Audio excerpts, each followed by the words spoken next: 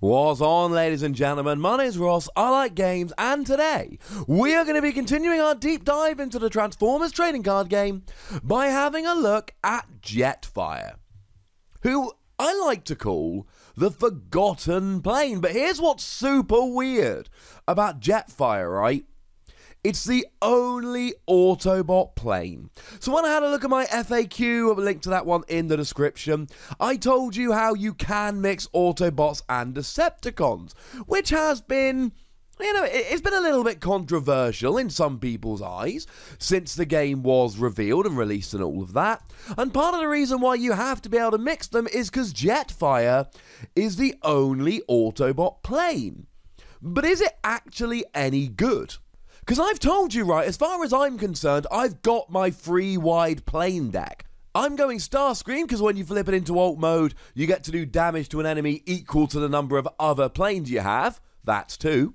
I'm playing Thundercracker because when you flip it into alt mode, you get to do 2 damage to a melee character.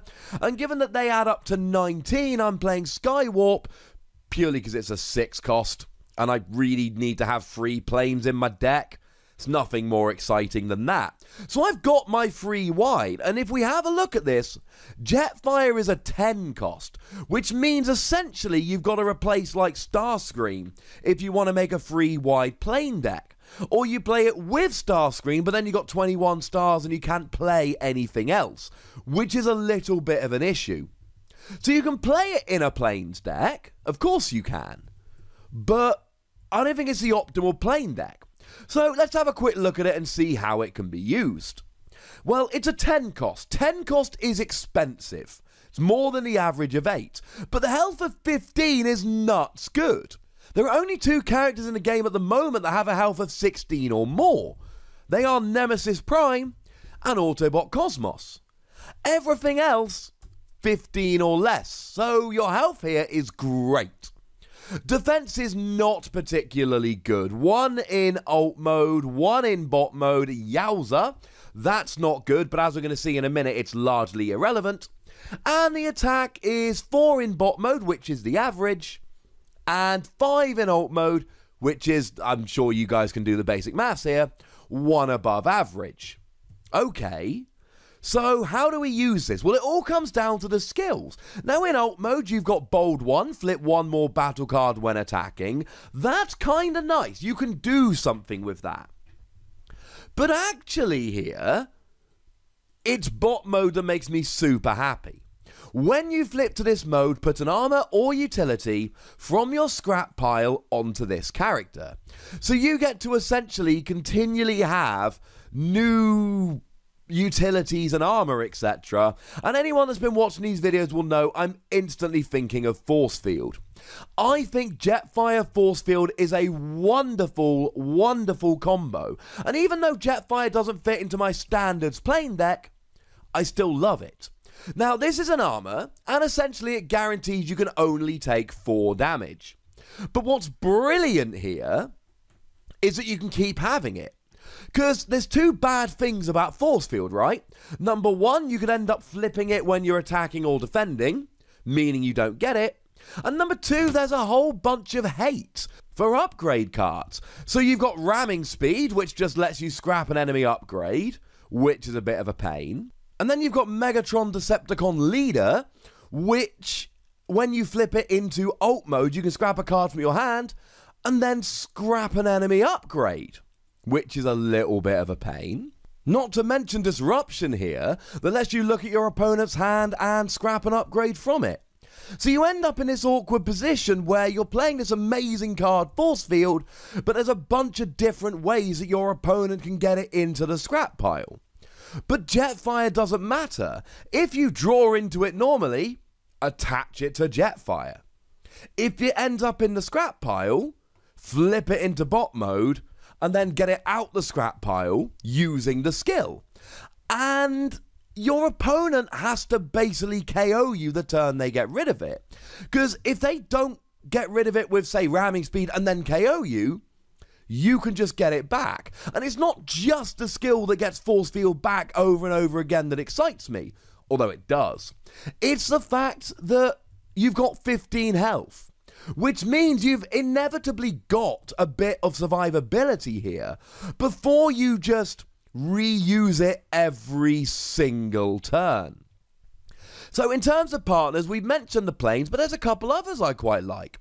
Arcee Skilled Warrior is a 5 cost. When you flip it to this mode, you get to, that's being alt mode, repair 1 damage from each of your characters. That's a bit of healing as well, which goes a long way in a card like this where you've really got some survivability. And I quite like Flamewar here, which gives you bold 1 when you flip into alt mode, which goes well with your bold in alt mode. And then when it's in bot mode, each of your characters has tough one. Hopefully, this won't be particularly exciting because you'll just be using force field constantly, but if you don't, tough one comes in handy.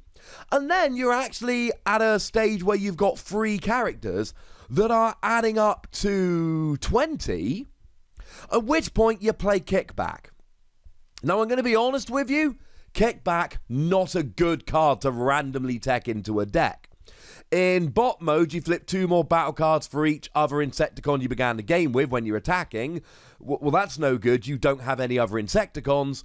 And when you damage an enemy in alt mode, you repair one damage from one of your Insecticons. At least you can, you know, heal Kickback. Kickback is built to be in an Insecticon deck, right?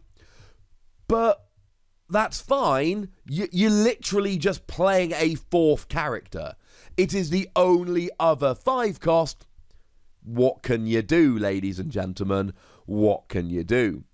Now, there is also an Optimus Prime here, Freedom Fighter, which has got Bold too, so it does fit with the whole bold theme in bot mode. And when you flip it to alt mode, you repair one damage from each of your Autobots, which would include Jetfire. Issue is that is a 12 cost, which means the two of them together would be 22, and you wouldn't have a third character that could plug that gap for the moment.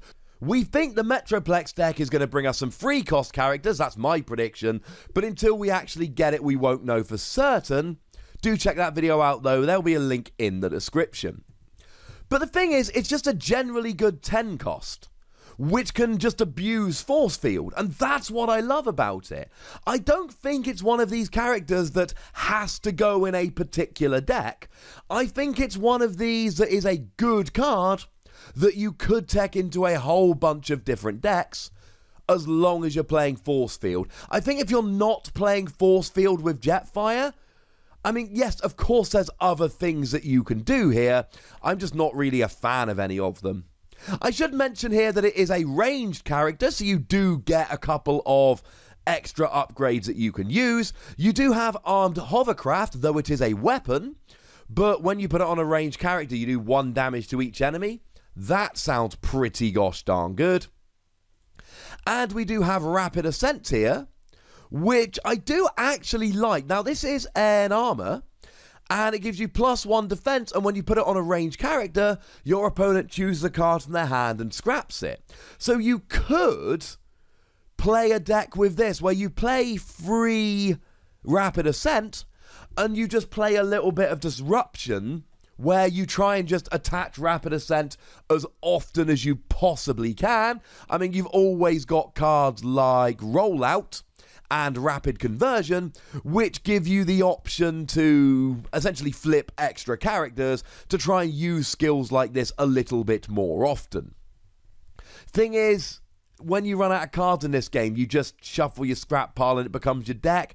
So I don't think disruption is a particularly viable strategy. So it's not something I'm going to wholeheartedly recommend, though it is an option. And being that you are a plane, you do have a couple of specific cards for planes.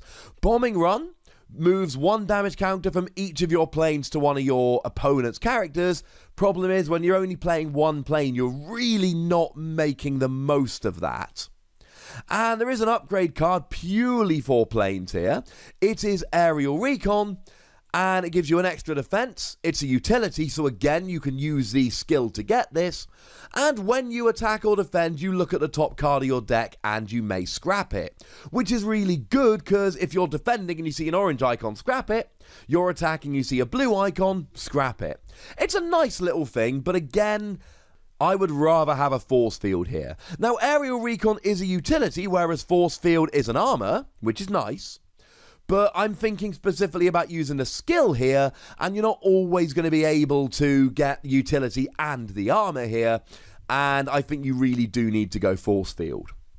And of course, if you've got bold 1, there are ways to essentially bold up a little bit. Supercharge gives one of your characters bold 3 until the end of the turn, which is quite nice. Flamethrower gives you bold 2, and they really are the best ones. I mean, yeah, I suppose Power Sword gives you bold free, but you're not a melee character, so that's kind of a moot point. And just before we finish here, I would be remiss if I didn't mention you can make a free wide plane deck using Jetfire here. Because that's a 10 cost, Skywarp is a 6 cost, Slipstream is an 8 cost, and that together would be 24. I don't think Skywarp's an amazing card, and I mean, look, Slipstream's not bad for an 8 cost. When you attack in bot mode, you flip at least three different icons. You get plus three attack. That's all right. Six attack on an eight cost is good. And in alt mode, when one of your planes attacks, you move one damage counter from it to the defender. Now, that could actually be really good if you are doing the whole force field thing. You take four damage, you move it over. And uh, if you're going for the force field, don't forget that we do have some decent options for repairing here. Repair Bay repairs one damage from each of your characters, which is quite nice here.